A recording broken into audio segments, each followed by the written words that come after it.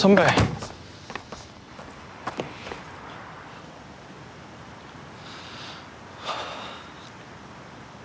미안하다. 뭐가요? 당장은 못 갚아. 하지만 갚을게. 굳이 그래야 속이 편해요? 너 내가 전화할 거라는 거 이거였냐? 내가 그런 말을 했나? 결국 네 생각대로 됐네. 내가 먼저 전화하고 비굴하게 꿇고 그럴 생각까지는 없었는데. 선배가 끝까지 모를 수도 있었잖아요.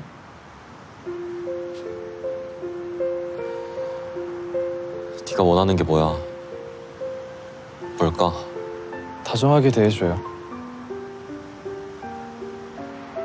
네가 이렇게 머리 안 굴리고 돈 안 써도 순수하게 네가 좋아서 다정하게 대해주는 사람은 없어?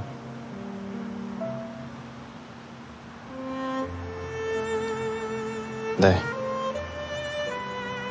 없어요? 한 명도.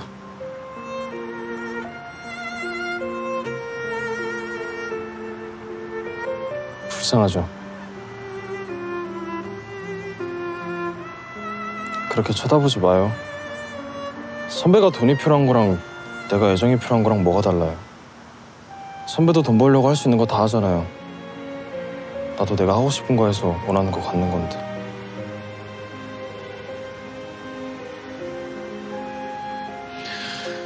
그래. 네가 이겼다. 하라는 대로 할게. 전화 받아요.